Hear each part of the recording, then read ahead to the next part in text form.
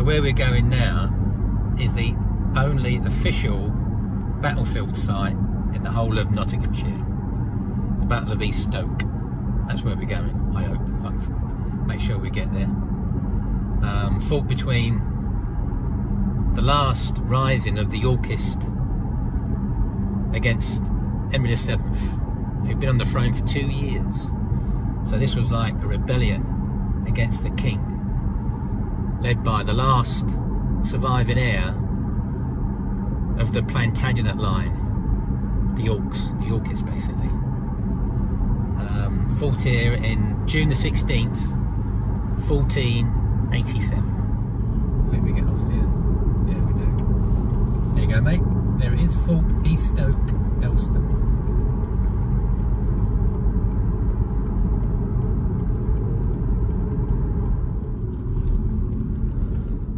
So just approaching into East Stoke because. Uh... Oh, so here we are. We, we actually found this by accident. oh, look. Image of the only intact skull showing the wound above the ear. Christ, look at that. They mess about, did they? Oh, it's there, isn't it? Sorry.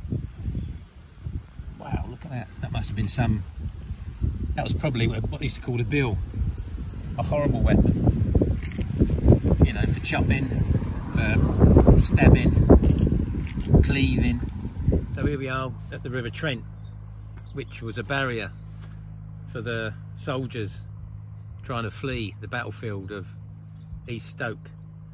Effectively, they were bottled up and they had no option but to fight to the end. And that's what they did. Particularly the German and Swiss mercenaries fought to the bitter end.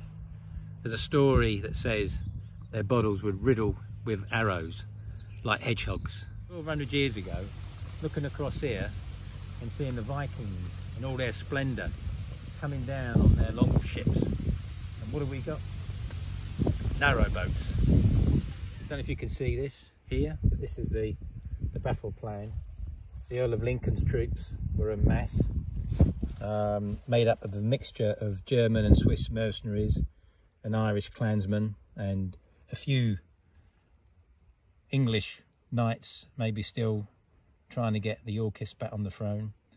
And what you see here is what's been termed the English vanguard. Um, Henry VII is um, with his main troops around the village of East Stoke and he sends his vanguard in to engage the enemy. Um, it's a battle fought on foot as it was common in those days. Um, but as I mentioned, the upper hand was really with the English and their longbowmen, whereas maybe the German mercenaries weren't used to that type of battle, being um, specialists in the use of uh, long pikes. Not much good having a long pike if your enemies shooting hundreds of arrows at you from about 100 yards. And this drove them?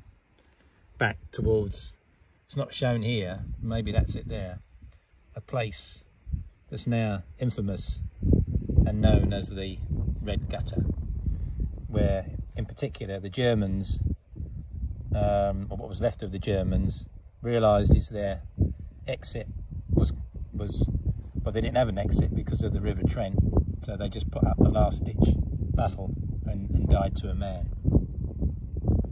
So uh, this is the memorial, quite a modern memorial at St Oswald's Church at um, Stoke. St is it called Stokes Field? Stoke Field, yeah. Stoke Field. Um, commemorating the dead of the Battle of Stoke Field.